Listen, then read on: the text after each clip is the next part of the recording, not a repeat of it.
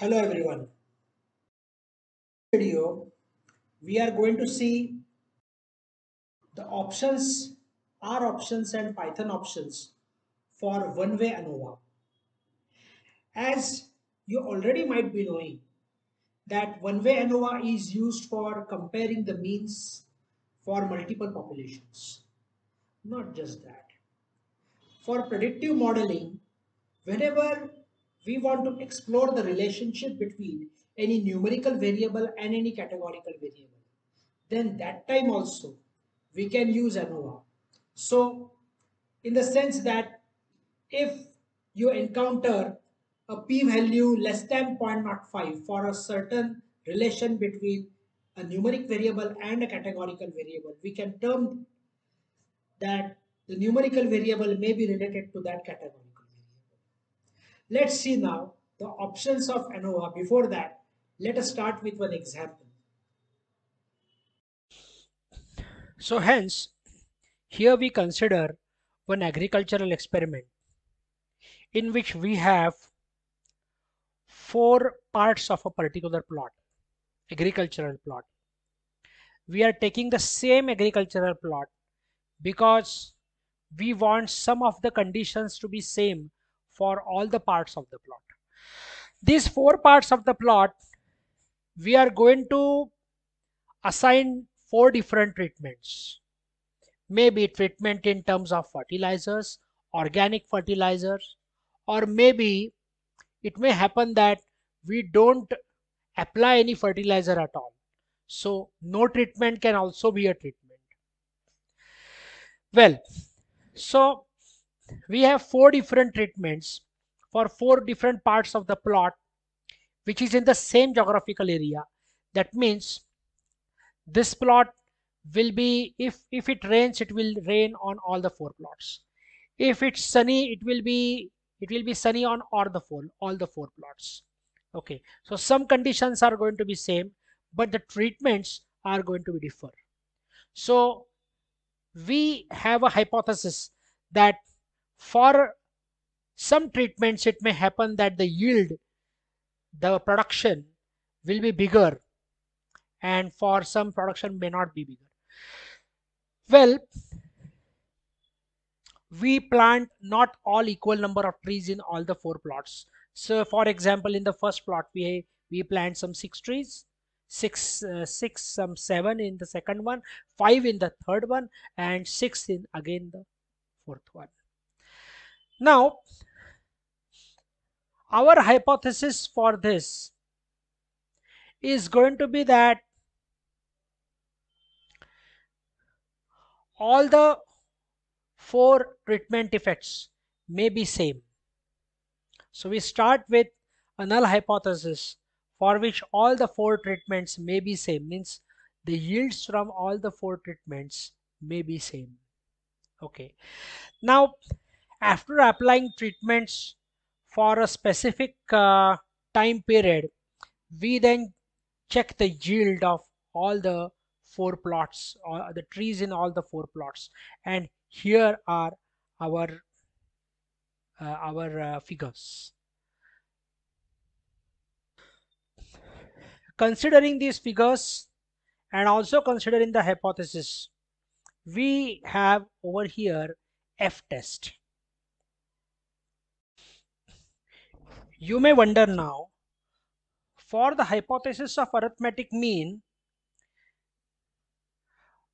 why are we using ANOVA test the way it is named analysis of variance? Why the name analysis of variance? Why not the name analysis of means? Let me tell you that. Basically over here in ANOVA we consider a total variation of the data as a sum of between variation and within variation.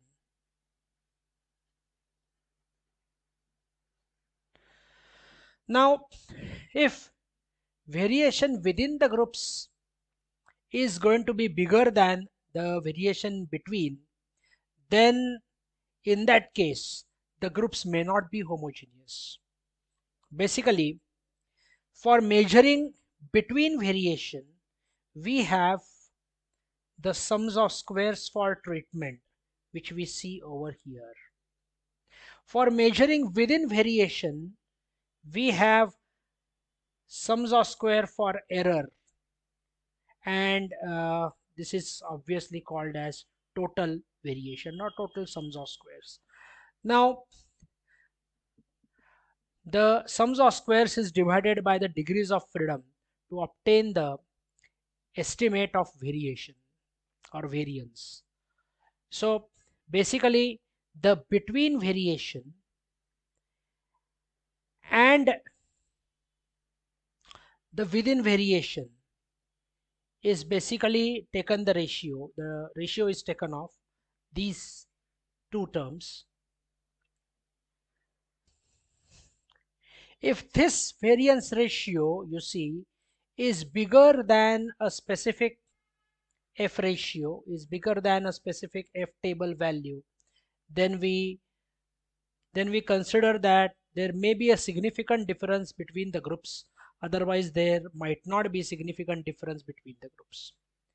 The table which has been presented over here is called as ANOVA table or analysis of variance table.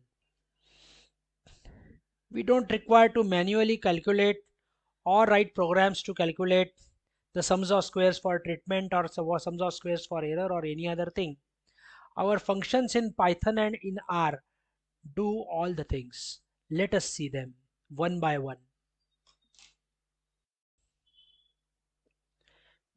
Well as you see i have the data gathered means this data has been pivoted in a longer way. So in case if you have different columns for 1 2 3 4 like this data if you have columns then for the purpose of R and Python commands you require to gather them in one column. You can apply pivot longer function or if it's Python you may apply melt function pd dot melt function so having done this with treatment IDs in the treatment column and all the yields together in one yield column. Well, over here we can either apply AOV function, AOV function in, in this fashion. So you type the name, while you type the name, the numeric variable should be at the left of tilde. And then the factor variable or I can say the treatments.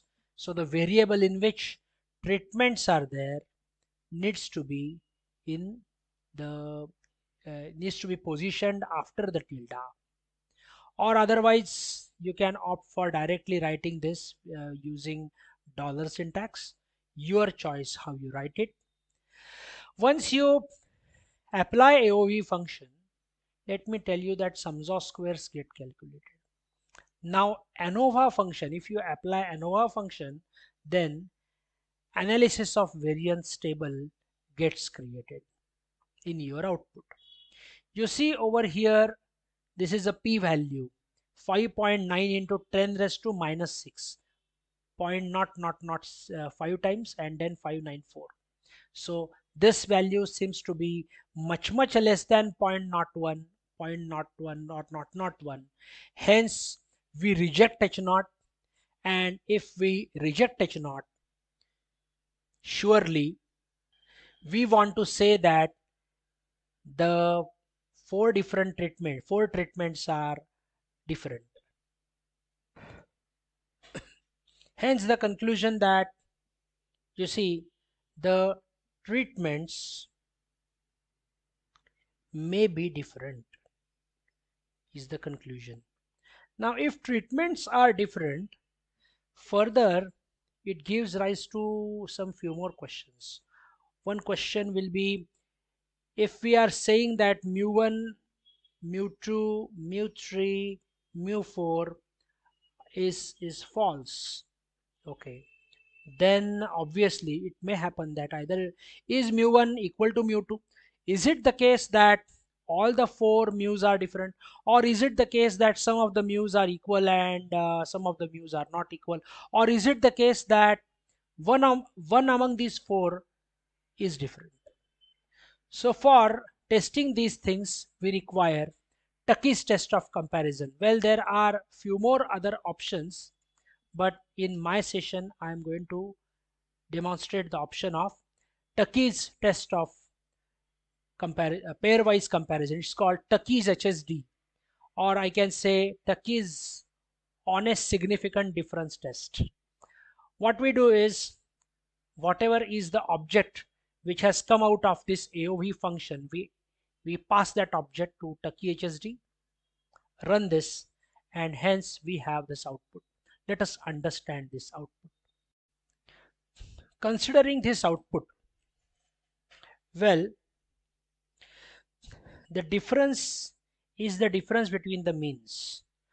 LWR and UPR are confidence interval limits and P, P is the basically the P value. So over here in this test pair pairwise differencing test have been have been uh, conducted. Now the first one first one seems that you have p-value you see less than 0.05 okay. So let me mark over here at places where p-value is less than 0.05 here it is here it is. And the rows which haven't been marked are for them I can say that there is no significant difference. Say for example in this row second row the p-value seems to be much much bigger than 0.01 not 1 or not 5 it's it means that there is no significant difference between treatment 1 and treatment 3 okay.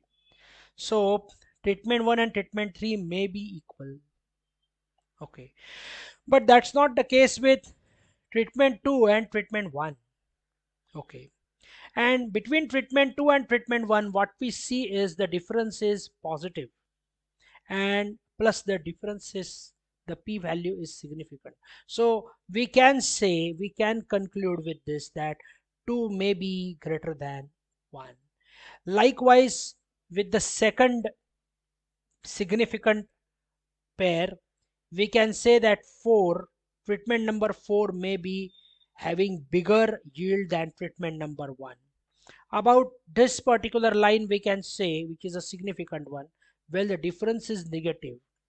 In the sense that we can say that 2 may be bigger than 3 and for this one, for this line we can say that 4 may be bigger than 3. Likewise, summing this up, we can also say that maybe 1 and 4 may be bigger than, sorry, 2 and 4 may be bigger than 1 and 3. So having seen the option in R using AOV function we will now see option in Python, which is under the package stats models. It's similar to that of R.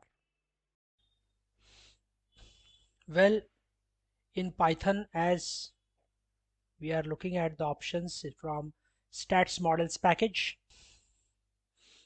first we import the dataset and then using OLS function, which seems to be similar to that of AOV function in R.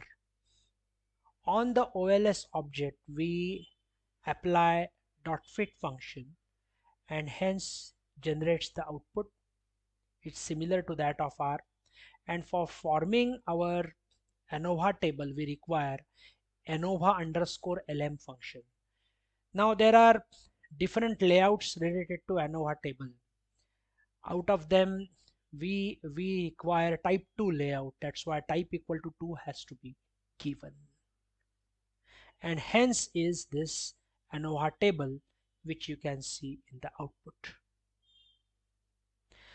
Also, considering the Tukey's HSD, we have the function called pairwise underscore Tukey HSD and you need to give the following things with this. So you, you, you need to pass on directly the variables. So first argument is the numeric variable, second argument is that categorical variable and then the alpha. And now the results which you see are not in the form of data frame. So we require to convert this into data frame with the help of pd.data frame.